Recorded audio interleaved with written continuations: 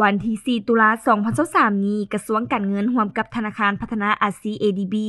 ได้เปิดกองประชุมปรึกษาหารือระดับสูงเกี่ยวกับการสร้างความเข้มแข็งทางด้านการคุ้มครองหนี้สินสาธารณะยู่สปปลาว เพื่อแนะใส่ปรึกษาหารือเกี่ยวกับการเชื่อมโยงระหว่างหนี้สินสาธารณะและงบประมาณ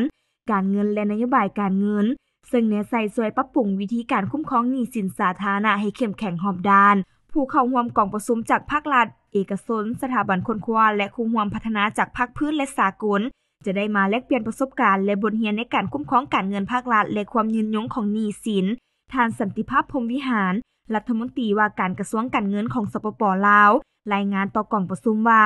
หนี้สินสาธารณะของสปปลาวบ่เพียงแต่ดึงดูดความสนใจจากบรรดาผู้สังเกตการและภาคส่วนเกี่ยวข้องจำนวนหลายทั้งภายในและต่างประเทศเท่านั้น แต่มันยังเป็นปัญหาหลักในการสนองทุนให้แก่การพัฒนาเศรษฐกิจสังคมของประเทศในปัจจุบันและอนาคตจำนวนทั้งหมดของหนี้สินสาธารณะและการค้ำประกันของรัฐในทั่วประเทศ ซึ่งบรรลุ 112%ของรวมยอดผลิตภัณฑ์ภายในประเทศ GDP ในปี 2022 ได้ซ้ำเติมหลังประเทศได้รับผลกระทบจากการแพร่ระบาดของพยาธิโควิด -19 และอัตราเงินเฟ้อทั่วโลกเพิ่มสูงขึ้น ทานยังได้ให้ฮู้เตื่นอีกว่า รัฐบาลได้ปฏิบัติมาตรการเพื่อลดอัตราเงินเฟ้อและรักษาเสถียรภาพของอัตราแลกเปลี่ยน เพื่อสวยฟื้นฟูเสถียรภาพเศรษฐกิจมหาภาค และซอกหาวิธีการหลุดพ้นปริมาณหนี้สินสะสมที่เกิดขึ้นจากการค้ำประกันของรัฐที่ยังค้างคาและพร้อมทั้งควบคุมการกู้ยืมใหม่ของภาครัฐให้เข่งคัดขึ้นกว่าเก่า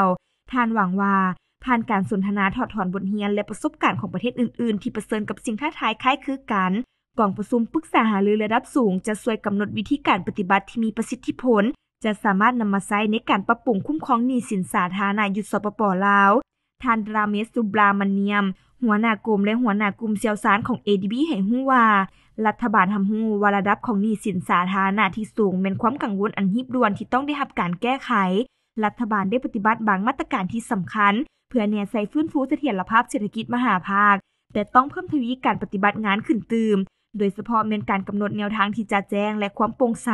จนนำไปสู่ความยืนยงของหนี้สินภาครัฐ จะต้องมีการประสานสมทบกันทั้งหมดของหน่วยงานของรัฐ พื่อเพิ่มทวีการสนองทุนและการควบคุมการกู้ยืมของภาครัฐให้หลายขึ้น เพื่อตอบสนองความยิ่งห้องต้องการของการพัฒนาประเทศ และบรรลุเป้าหมายลดพรความทุกข์ยากให้ต่ำกว่า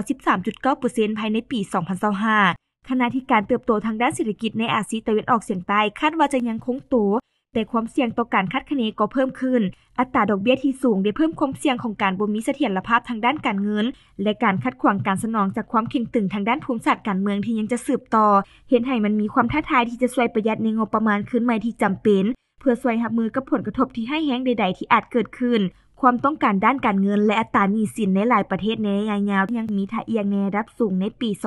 2022 หนี้สินสาธารณะภายนอกทั้งหมดของสปปลาวกว่า3ส่วน4ของหนี้สินสาธารณะและการค้ำประกันของรัฐทั้งหมด และมันก็ภัยเกิดสิ่งท้าทายพิเศษ เนื่องจากการตกต่ำของค่าเงินกีบอย่างให้แหงเมื่อเทียบกับอัตราต่างประเทศ